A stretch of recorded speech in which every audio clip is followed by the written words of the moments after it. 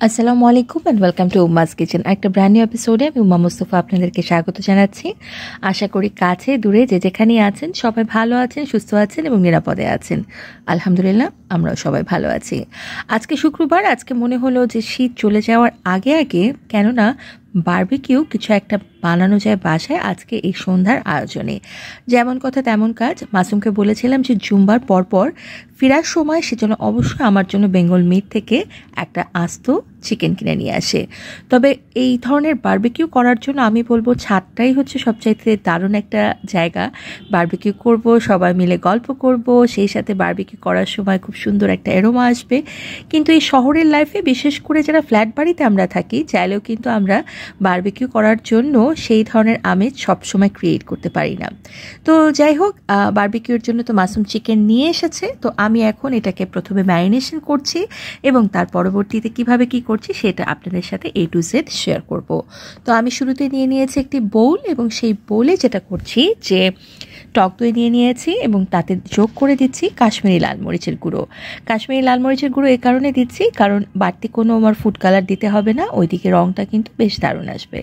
So মোটামুটি ওটা দেওয়ার পরে আমি আরও যোগ করে দিচ্ছি কাবাব মশলা এবং আরও দিয়ে দিলাম হচ্ছে সাদা সরিষা বাটা যদি বাসায় থাকে সেটা দিতে পারে, তবে আমি হচ্ছে বোতলে যেটা পাওয়া যায় ফ্রেঞ্চ মাস্টার্ড পেস্ট সেটা দিয়ে দিয়েছি। এবং এরপরে আরও যোগ করে দিচ্ছি কাবাব মশলা সহ। কি কি কতটুকু পোর্শনে যোগ করছি সেটা কিন্তু ডেসক্রিপশন বক্সে আমি দিয়ে রাখছি। আর আপনাদের সবার সুবিধার জন্য আপনি কিন্তু ডিসপ্লে স্ক্রিনেও সব কিছু দেখতে পাচ্ছেন তো যাই হোক এগুলো দেওয়ার পরে আমি যোগ করে দিচ্ছি আরও আদা, রসুন বাটা। আর কাবাব মশলায় কিন্তু একটু লবণ থাকে, তো সেখানে আমি বুঝে শুনে পরিমাণ মতন লবণ যোগ করে দিব। তো আপাতত এই সবগুলো জিনিসকে সুন্দর মতন করে আমি মিক্স আপ করে নিচ্ছি এবং তার পরবর্তীতে এখানে আমি সামান্য পরিমাণে আরও যোগ করে দিচ্ছি। সরিষার তেল। যাদের কাছে সরিষার তেল নেই, তারা চাইলে কিন্তু অলিভ অয়েল দিতে পারেন অথবা সয়াবিন তেল দেওয়া যেতে পারে বাট সয়াবিন তেল দিলে কিন্তু ফ্লেভারটা স্বাদটা কোনোটাই কিন্তু খুব একটা আহামরি ভালো আসবে না। সো বেটার হয় কষ্ট হলেও এই ধরনের জিনিস করার ক্ষেত্রে আপনি সরিষার তেল ব্যবহার করবেন। সো মোটামুটি এগুলো তো হয়ে গেছে। আমি পেস্টটাকে বানিয়ে এক সাইডে সরিয়ে রেখে দিয়েছি। আর যে চিকেনটা মাসুম আমার জন্য বেঙ্গল মিট থেকে নিয়ে এসেছে, সেই চিকেনটার ওজন হচ্ছে খানিকটা এক কেজি দুইশো গ্রামের মতন। আমি বলব যে বেশি বড় মুরগি নেবেন না, আবার খুব যে ছোটো বাচ্চা সাইজের সেরকমও নেবেন না। বাচ্চা সাইজের মুরগিগুলোর কিন্তু টেস্টটা সেরকম ভালো আসে না।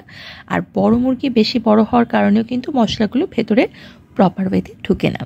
তো যাই হোক, আমি চিকেনগুলোকে একটু ধারালো ছুরি সাহায্যে সামান্য কয়েকটা জায়গাতে চিড়ে নিয়েছি এবং যে পেস্ট আমরা বানিয়েছি, সেই পেস্টে এটাকে সুন্দর মতন করে একটু একটু করে মাখিয়ে নিচ্ছি এবং এটাকে সবচাইতে ভালো হয় যদি আপনি সারা রাত ম্যারিনেশনে রাখেন অথবা সকালবেলা ম্যারিনেট করে বিকেলের দিকে যখন আপনি এটাকে রেডি করবেন, লম্বা সময় ম্যারিনেশনে থাকলে চিকেন হোক বিফ হোক কিংবা মাটন হোক খুব দারুণ কিন্তু স্বাদ চলে আসে। তো মোটামুটি চিকেনটাকে আমি এক সাইডে রেখে দিচ্ছি, আর অন্যদিকে যেটা হচ্ছে, আমি নিয়ে নিয়েছি কিছু সবজি। এখানে আমি আলু, গাজর, এগুলোকে আমি আমার ইচ্ছে মতন একটু জাস্ট এলোমেলো কাট করে কেটে নিচ্ছি। আর সেই সাথে আরও আমি ক্যাপসিকাম এখানে যোগ করে দিয়েছি। আমি আস্ত কিছু পেঁয়াজ নিয়েছি বাট ওগুলোকে মাঝখান দিয়ে ফালি করে নিই বা কুচি করে নিই। তো এখন যেটা করছি, আমাদের যে পেস্টটুকু বেঁচে গিয়েছে, সেখানে আমি এক এক করে পেঁয়াজ, ক্যাপসিকাম, গাজর, আলু, এই সবগুলো জিনিস দিয়ে বেশ ভালো মতন মাখিয়ে নিচ্ছি। সাধারণত হয় কি যে এই ধরনের বার্বিকিউ করার সময় সবজিগুলো কিন্তু সাথে থাকলে একটু বার্ন হলে খেতে বেশ দারুণ লাগে। আর হ্যাঁ স্বাদটাকে আরও মজা করার জন্য আমি এখানে আনারস কিপ করে কেটে সেটাও যোগ করে দিয়েছি। স্বাদ মতো লবণ কিন্তু এখানে লাগবে, কারণ এখানে মশলাতে যতটুকু লবণ ছিল, সেটা হয়তো বা চিকেনের জন্য অ্যাপ্রোপ্রিয়েট কিন্তু এই সবজিগুলোর জন্য সামান্য পরিমাণে আর একটু লবণ যোগ করতে হবে। তো যাই হোক, আমি মশলা মাখিয়ে সবজি আর চিকেনগুলোকে রেস্টে রেখে দিচ্ছি ঘণ্টা দুয়েকের জন্য। ঘণ্টা দুয়েক পরে আমার এখন এই চিকেনটাকে রেডি করার পালা। আমি খানিকটা একটু অন্যভাবে করে রেডি করছি। আমি চিকেনটাকে আগে সেদ্ধ করে নিব এবং তার পরবর্তীতে কীভাবে করে আমি এটাকে চুলোতে বার্বিকিউ করা যায়, সেটারই টেকনিক আপনাদের সাথে শেয়ার করব। তো যাই হোক ওভারঅল এখন এই পানিতে আমি এই চিকেনটাকে দিয়েছি এবং মোটামুটি হাই ফ্লেমে আমি এই চিকেনটাকে ভালো মতন করে এপিট ওপিট করে সেদ্ধ করে নিব। আপনার মাথায় প্রশ্ন আসতে পারে যে, এই মশলাগুলো দিচ্ছি, আবার সেদ্ধ করছি? এটার তো টেস্ট চলে যাবে বা ভালো হবে না? এটা সেটা অনেক কিছু। যদি কোনো সেভাবে প্রবলেম না থাকে, একবার এটা ট্রাই করে দেখবেন। করবেন টেস্ট কোনো কিছুই হবে না। ইনফ্যাক্ট স্বাদটাও অটুট থাকবে, ভেতর পর্যন্ত সেদ্ধ হবে এবং তার পরবর্তীতে আমরা তেল মাখিয়ে তো এটাকে সুন্দর মতন করে বারবিকিউ চুলোতে কীভাবে করব সেটা আপনাদের সাথে শেয়ার করবই। তো আপাতত ওই চিকেনটাকে সেদ্ধ হতে দিয়েছি, এখন চলে যাচ্ছি আমরা আরেকটা রেসিপিতে ম্যারিনেশন করে রাখা আমার সবজি যেগুলো ছিল, সেগুলোর সাথে সামান্য পরিমাণে আমি একটু টমেটো ক্যাচআপ যোগ করে দিয়েছি। আপনি চাইলে টমেটো ক্যাচআপ অথবা টমেটো চিলি সসও যোগ করে দিতে পারেন। তো বেকিং যে ট্রেটাতে আমি এটাকে বেক করব, তো সেটাতে আমি কি করেছি, আমি সুন্দর মতন করে সরিষার তেল দিয়ে বেশ ভালো মতন করে কিন্তু এই প্যানটাকে গ্রিস করে নিচ্ছি।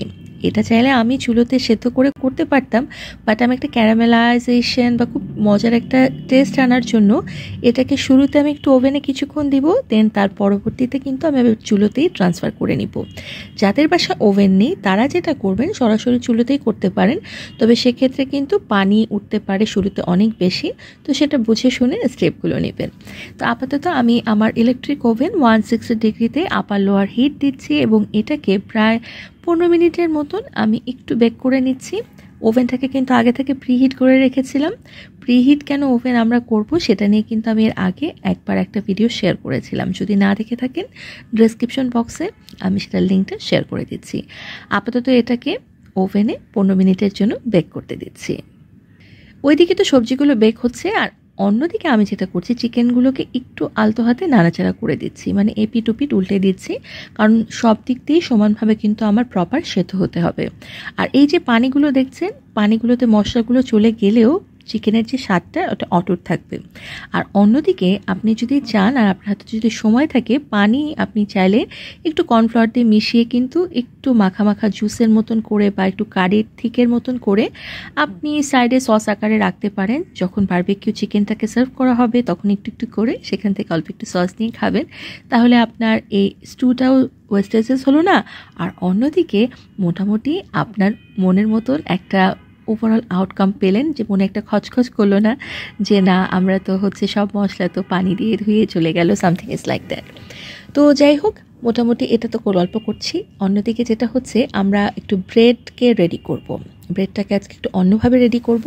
তো সেটার জন্য আমি শুরুতে যেটা করেছি, আমি আজকে এখানে একটা বোল নিয়ে নিয়েছি এবং সেখানে যোগ করে দিচ্ছি শুরুতেই বাটার বাটারটাকে রুম টেম্পারেচারে রেখে নেবেন, তাহলে এই কাজগুলো করতে আপনাদের বেশি সুবিধা হবে। আমি আসলে ঘুমিয়ে পড়েছিলাম দেখে দুপুরবেলা ম্যারিনেশনের পরে আমার মনে ছিল না আদারওয়াইজ এই মাখনটাকে আগে থেকে বের করে রাখলে সফটেন মাখনে কিন্তু ভালো আউটকাম আসে। সো মোটামুটি মাখনের সাথে আমি যোগ করে দিচ্ছি। আমার বাসার ফ্রিজে ছিল যে মেয়নিজ সেটা। এখন মাখনটা যেহেতু খানিকটা একটু হার্ড একটু কষ্ট হবে আমাকে সব কিছু জিনিস একসাথে অ্যাসেম্বল করতে। তো আবারও বলব, আপনারা কিন্তু অবশ্যই রুম টেম্পারেচারে মাখনটা নিয়ে নিলে এটা মুহূর্তের ভেতরে খুব সুন্দর মতন করে কিন্তু মিক্স আপ হয়ে যেত। তো তারপর যাই হোক, আমি এখন এটাকে একসাথে মিক্স আপ করার ট্রাই করছি এবং এর সাথে কিন্তু আমরা আরও বেশ কয়েকটা জিনিস যোগ করে দিব। তার ভেতরে অন্যতম যেটা হচ্ছে, এটার সাথে আমরা যোগ করে দিব গার্লিক গার্লিক যেটাকে আমরা একদম কুচি কুচি করে রেখেছি। আর অন্যদিকে আমরা এখানে আরও যোগ করে দিচ্ছি কাঁচামরিচ কুচি, দিয়ে দিচ্ছি ধনে পাতা কুচি। ধনে পাতাটা আমার খুব ভালো লাগে, আমার বাসা সবারও খুব ভালো লাগে। সো মোটামুটি এটা কিন্তু একটু বেশি পরিমাণে দিয়েছি। তো আবারও আমি চামচের সাহায্যে নাড়াচাড়া করে নিচ্ছি এবং নাড়াচাড়া করতে করতে আপনারা দেখতেই পাচ্ছেন খুব সুন্দর কিন্তু একটা ক্রিমি কনসিস্টেন্সিতে চলে এসেছে। তো এটাকে মূলত আমরা যে ব্রেডগুলো আছে যে হটডগ টাইপের যে বান বা ব্রেডগুলো সাব বান টাইপের। তো সেইগুলোতে আমরা স্প্রেড করে দিব এবং তারপরে তো এটাকে আমরা ডেফিনেটলি ওভেনে বেক করে নিব। আর আমার কাছে আজকে মোসেরোলা চিজ ছিল না, তো স্লাইস চিজ ছিল। তো স্লাইস চিজটাকে আমি খুব সুন্দর মতন করে কুচি কুচি করে কেটে নিচ্ছি এবং আপনারা দেখতেই পাচ্ছেন এটাকে আমি এই যে মিশ্রণটা বানিয়েছি, সেটার সাথে কিন্তু আমি মিশিয়ে নিচ্ছি। তো এটা করলে যেটা হবে যে একটু ব্রেডের ভেতরে একটা গার্লিকের ভাব আসবে, একটা চিজি ভাব আসবে, একটা বাটারি ভাব আসবে। ওইদিকে তো বিভিন্ন হার্বস দেওয়া হয়েছে স্পাইসেস দেওয়া হয়েছে। মোট কথা স্বাদটা কিন্তু একদম অনবদ্য হবে। আমি এক এক করে ব্রেডগুলোতে এই যে মিশ্রণটা বানিয়েছি, সেটা স্প্রেড করে দিচ্ছি এবং এভাবে করে কিন্তু আপনি খুব সহজেই মজা করে শুধু বার্বেকিউ চিকেন না, নর্মাল এটা এমনি এমনি করে আপনি বানিয়ে খেতে পারেন বিকেলে কিংবা বাচ্চাদেরকে টিফিনেও কিন্তু আপনি দিতে পারেন। এক এটা হেলদি আর অন্যদিকে যেটা হচ্ছে বানানো অনেকটাই সহজ। একবার ট্রাই করে অবশ্যই দেখবেন। তো এটাকে আমি দশ মিনিটের জন্য প্রিহিটেড করা ওভেনে দিয়ে দিচ্ছি। সো মোটামুটি ওভেনে তো দিয়ে দিচ্ছি এবং অন্যদিকে যেটা হচ্ছে, আমাদের ওভেনে এটা তো ট্রান্সফার করে ফেললাম। সবজিগুলো কিন্তু যতটুকু সময় রাখার কথা ছিল, আমি ততটুকু সময় রেখেছি এবং যেমনটা চাচ্ছিলাম তেমনটা হয়ে গিয়েছে। এখন আমি যেটা করছি ওভেন থেকে সবজিগুলো বের করে নিয়েছি আর ওইদিকে কিন্তু আমার যে চিকেনটা সেটা কিন্তু একদম হান্ড্রেড পার্সেন্টভাবে সেদ্ধ হয়ে গিয়েছে। তো ওটাকে আমি সুন্দর করে একটু পুরাবো তবে তার আগে যেটা হচ্ছে যে, আমরা ওভেনে যখন দিয়েছি, সে ওভেন থেকে কিন্তু সবজিগুলোর সাথে কিন্তু স্টু ছিল। সেই স্টুটা এখানে দিয়ে দিলাম এবং এটাকে আমরা ভালো মতন করে মোটামুটি হাই ফ্লেমে সেদ্ধ করে নিব। এটা খুব একটা বেশি সময় লাগবে না। অন্যদিকে যেটা হচ্ছে, এই যে কাবাব গ্রিল যেটা দেখছেন, যেটা চুলোতে দেওয়া হয়েছে, এটার বয়স হচ্ছে টু থাউজেন্ড থ্রিতে এটা আমার মা কিনেছিল। তো টু থাউজেন্ড থ্রি আর এটা টু থাউজেন্ড টোয়েন্টি থ্রি তো বিশ বছর। তো বিশ বছর আগের এই জিনিসটা এখন আমাদের বাসায় আছে। এটাতে মূলত আমরা চুলোতে আমাদের বিভিন্ন কাবাব বানানো হলে বা বিভিন্ন ধরনের কিছু বার্বিকিউ করতে হলে আমরা এটা সবসময় ব্যবহার করে থাকি। তো যাই হোক, আমি এখন যেটা করছি, এখানে তো পুরাবো তবে তার আগে যেটা হচ্ছে আমি এখানে কয়েকটা জিনিস এখানে অ্যাড করছি। যেমন একটা বলে আমি সরিষার তেল নিয়ে নিয়েছি, আর বেস্টেড টমেটো চিলি সস নিয়েছি। এটার স্বাদটা কিন্তু আসলেই অনেক ভালো। তো এ দুটো নিয়ে একটা মিশ্রণ বানিয়ে নিচ্ছি। যে মিশ্রণটাকে আমরা আমাদের এই চিকেনগুলোর গায়ে লাগাবো এবং তার পরবর্তীতে যেটা হচ্ছে যে এইটাকে আমরা সুন্দর মতন করে ওই কাবাব চুলাতে আমরা পুড়িয়ে নিব। মোটামুটি তো আমার এই মিশ্রণটা লাগানো শেষ। এখন তো আমি এই চুলোতে এটা দিয়ে দিয়েছি এবং আপনারা দেখতেই পাচ্ছেন এটা খুব সুন্দর মতন করে পুরা হচ্ছে। আমাদের বাসায় খুবই পুরা পুরা পছন্দ করে, তাই একটু বেশি পুরাবো। এরকমই মোটামুটি একটা ইচ্ছে আছে, বাকিটা আল্লাহ ভরসা। আর আপনাদের মাথায় প্রশ্ন আসতে পারে এইভাবে করে পুরাতে গেলে তো আসলে চুলাটা নষ্ট বা নোংরা হয়ে যেতে পারে। চুলা তো আসলে ক্লিন করা যায়, আর একটু মজার জিনিস খেতে গেলে আমি সবসময় বলি, একটু তো কষ্ট করতেই হবে। তো সেক্ষেত্রে আমি এটাকে এইভাবে করেই কাজ চালিয়ে নিচ্ছি এখন বাকিটা দেখা যাক। সো মোটামুটি আমি এটাকে এপিটোপিট করে দুই সাইডেই বেশ ভালো মতন করে পুড়িয়ে নিচ্ছি। আমার আম্মু আর আমার বর, এরা দুজন কিন্তু প্রচুর পরিমাণে মানে বারবিকিউ চিকেন বলা ভুল হবে, পোড়া চিকেন খেতে খুব পছন্দ করে। এখন এটা এক একজনের আসলে রুচির ব্যাপার, আর স্বাদটাও কিন্তু আসলে দারুণ হয়। তো মোটামুটি যাই হোক, যেটুকু জুস আর বাকি ছিল বানানো, সেগুলো আমি উপরে একটু ঢেলে দিয়ে দিচ্ছি এবং খুব সুন্দর মতন করে বার্ন হয়ে যাচ্ছে। তো এইভাবে করে আপনি খুব সহজে চুলোতে কিন্তু বার্বিকিউ চিকেন করতে ফেলতেই পারেন। নট নেসেসারি যে আপনাকে বার্বিকিউ চিকেনের জন্য ওভেন লাগবে কিংবা পার্টিকুলারলি কয়লার চুলো লাগবে, এরকম কিছুই না। তো যাই হোক, এটা তো হয়ে গিয়েছে, এখন পরিবেশনের পালা। এখন আমি যেটা করছি, আমি একটা বড় ট্রে নিয়ে নিয়েছি, আমাদের এই চিকেনটাকে আমি প্রথমে এখানে সার্ভ করে নিচ্ছি, আর অন্যদিকে এক এক করে এখানে দিয়ে দিচ্ছি। আমাদের বানিয়ে রাখা যে ব্রেডগুলো আমরা ওভেনে দিয়েছিলাম, সেই ব্রেডগুলো এবং দেখতেই পাচ্ছেন ব্রেডগুলোর যে লুকটা কী দারুণ এসেছে। ওইদিকে সবজিগুলো হয়ে গিয়েছে, সবজিগুলো আমি সাইড দিয়ে একটু একটু করে দিয়ে দিচ্ছি আর এইভাবে হয়ে গেল আমার আজকের বিকেলের নাস্তা। কেমন লাগল রেসিপিটা? যদি ভালো লেগে থাকে লাইক শেয়ার অ্যান্ড কমেন্ট করতে ভুলবেন না। আপাতত এখানেই শেষ করে দিচ্ছি। আগামীতে নতুন আরেকটা ব্লগ রেসিপি গল্প আড্ডা নিয়ে আসছি। ততদিন সবাই ভালো থাকুন, সুস্থ থাকুন এবং উম্মাস কিচেনের সাথেই থাকুন। আল্লাহ হাফিজ অ্যান্ড হ্যাপি কুকিং